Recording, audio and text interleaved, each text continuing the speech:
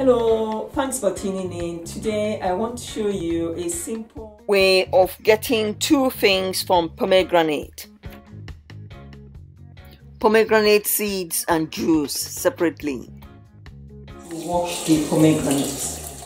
Pomegranates are super antioxidants with lots of health benefits. Cut off the tops, this makes it easier to free up the seeds and the juice.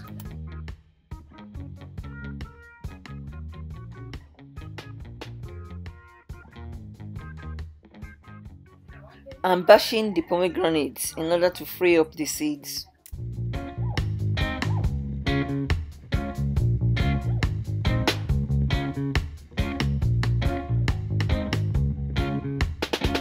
Feel free to use your hands as well to pick out the seeds in addition to removing the flesh.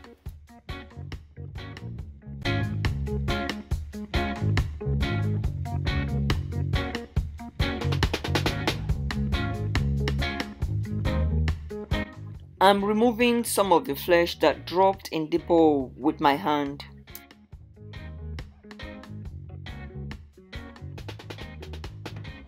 Don't worry if uh, some of them break. You can either cut them or you can also break with your own hand that way. And the last but not the least, it's fun to do messy but rewarding as we will see later. I'm going to transfer the pomegranate into a smaller container. This would help with appreciating the quantity. All these from just four pomegranates. Wow, this is really gorgeous.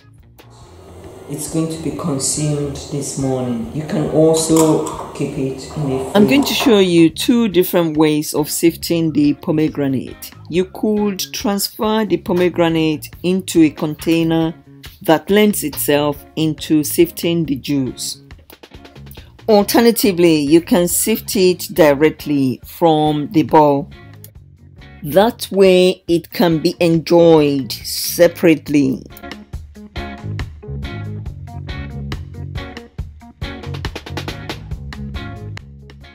Now I'm going to taste the juice. Mmm, this is simply delicious. Now I have two good things from the pomegranate. The juice, which tastes really, really delicious, and of course, the pomegranate seeds, which I'm going to be enjoying shortly. Hope you find the techniques very easy to do. Please subscribe to my channel if you haven't already done so. Thank you. Thank you for viewing my video have a good day. Goodbye.